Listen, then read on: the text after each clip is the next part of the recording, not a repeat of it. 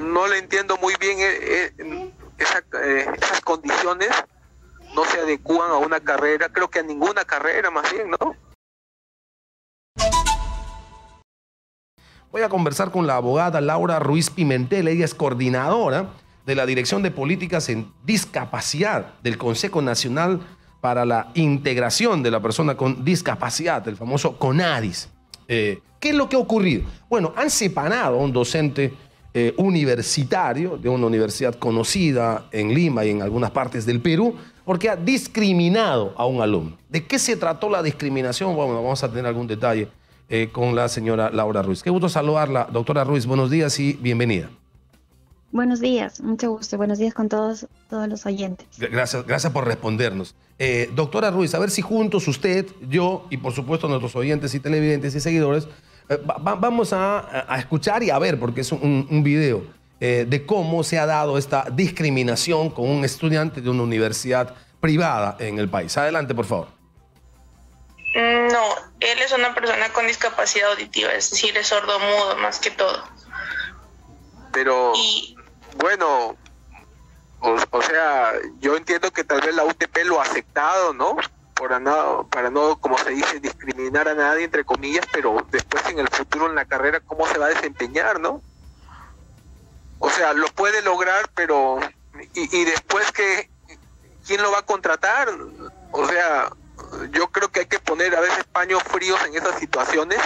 Yo tampoco no lo estoy discriminando, pero hay que pensar más allá eh, en el futuro que va a ocurrir, ¿no? Porque se supone que, como todas las carreras, ¿no? Son de conversación, ¿no? Uno transa negocios, eh, no se coordina almuerzos o reuniones, y hay trabajo, bueno, en arquitectura hay un amplio, un amplio campo, ¿no? Pero por su condición que usted me está mencionando, eh, va a ser siempre pues un perfil bajo, ¿no? Algo así como, no sé, una especie de dibujante, ¿no? Para alguien más. Yo tengo muchas cosas que hacer todo acá. No, porque no, le entiendo muy bien eh, eh, esas condiciones no se adecúan a una carrera, creo que a ninguna carrera más bien, ¿no? Increíble. No solamente arquitectura. Impresionante. es impresionante. Yo, yo, yo me quedo sin palabras.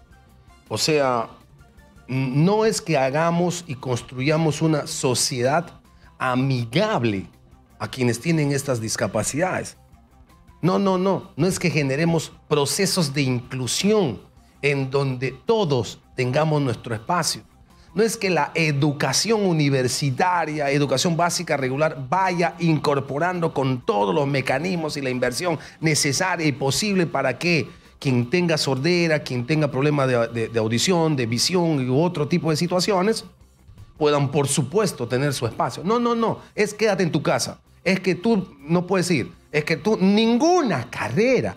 Y dice que seguramente le habrá aceptado la OTP por este asunto de no discriminar, entre comillas. Eh, doctora Laura Ruiz, esto cataloga claramente como un tema de discriminación, ¿no? Pues, Redondo. Por supuesto que sí, claro que sí. Y, desde el CONADIS en realidad rechazamos todos o cualquier acto de discriminación contra una persona con discapacidad. Y esto claramente es un acto de discriminación producido por desconocimiento o quizá, pero es un acto de discriminación contra esta persona con discapacidad auditiva. Este mientras, este, mientras, este, docente eh, conversaba con la hermana del estudiante de la universidad UTP, me parece, eh, mientras estaba en esa conversación, él estaba escuchando, eh, era partícipe de todas las eh, expresiones de este docente, estaba recibiendo las balas de este docente. Bueno, por lo que se aparenta en el video, sí, por lo que señala la hermana también, ¿no? Es el, el joven estaba en medio de su clase y pidió el apoyo de la hermana para que pueda transmitirle información al docente. Entonces el joven estaba eh, en medio de la clase cuando ha sucedido mm. esta... ¿Qué, qué, procedimiento hay que hacer? ¿Qué es lo que hacen ustedes en este caso? ¿Cómo, es que, eh, digamos, se busca, en primer lugar, visibilizar esto y, en segundo lugar, por supuesto, establecer las sanciones que correspondan? ¿Qué dice el procedimiento, por favor? Bueno, hay varias cosas que tenemos que, que dejar sentado, ¿no? Primero, que estas cuestiones son discriminación, son actos de discriminación contra una persona con discapacidad. las personas con discapacidad, incluyendo aquellas con discapacidad auditiva, tienen el mismo derecho de cualquier otra para acceder a una educación superior inclusiva. Además, recordemos que él es, está accediendo al servicio educativo privado, está mm. pagando por este mm. servicio, es un mm. cliente, entonces tiene que recibir los ajustes en el entorno físico, virtual, a las comunicaciones, como en este caso, para poder acceder a, a la información, a los contenidos y formarse, ¿no? Formarse como arquitecto. Entonces, tenemos que además entender que es nuestra obligación como servidores públicos, como personas o servicios públicos de garantizar estas cuestiones de accesibilidad, mm. que en el caso de personas con discapacidad auditiva, por ejemplo, sería contar con un intérprete, reconocer esta forma de comunicación. La lengua de señas peruana es una lengua de señas oficial, en nuestro país. Lenguaje oficial, absoluto. Ahora, eh, ¿podría ser sancionado administrativa o penalmente este, este, este docente? Bueno, la discriminación es un delito que está tipificado en el Código Penal, ¿no? Tiene que haber ya un, encauzamiento a través de, la Fiscalía y un proceso judicial. Esto con respecto al docente. Con respecto a la universidad, y como me preguntaba, eh, ¿qué cosa es lo que el CONADIS va, a realizar? Pues el CONADIS tiene también em, dos actividades importantes de supervisión y de fiscalización y sanciones.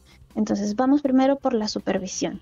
Y en esta supervisión lo que necesitamos o lo que buscamos es verificar qué otras casas de estudios están realizando estos incumplimientos de, brindar todas las condiciones necesarias para que los estudiantes con discapacidad puedan eh, gozar de ese derecho a la educación. Entonces, esta supervisión va a ir por ese lado, para verificar eh, y, recordar a todas las eh, instituciones educativas que tienen que cumplir con estas cuestiones de accesibilidad a la comunicación y también de capacitación a los docentes, porque esto pasa mucho porque los docentes no conocen sobre la temática de discapacidad.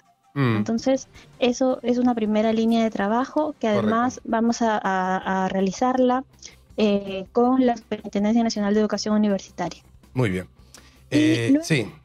La otra línea es del eje de fiscalización y sanciones que le comentaba. Correcto. También hay eh, sanciones administrativas que, bueno, realizará la Dirección de Fiscalización y Sanciones una intervención eh, para garantizar la accesibilidad en el eje de accesibilidad y en el eje de educación. Mm. Eh, con esta universidad y además con otras adicionales, ¿no? Porque esto, eh, si bien ha sido un caso que, ha salido a la luz, lamentablemente no es un caso aislado. Exactamente. Y, Exactamente. Y me imagino que en la parte penal, ojalá Procuraduría también tome una acción inmediata y lleve esto a los tribunales para que se sancione de manera ejemplar y decir, basta ya a quienes por ignorancia, probablemente, pero también por maldad, eh, terminan discriminando de una manera tan, tan horrible como esta que acabamos de constatar.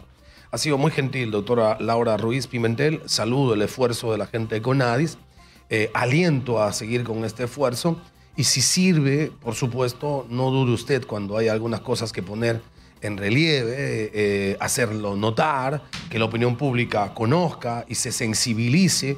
Nosotros estamos sin ninguna duda como socios voluntarios en ese esfuerzo. Estas son las tareas que hay que hacer de manera indesmayable.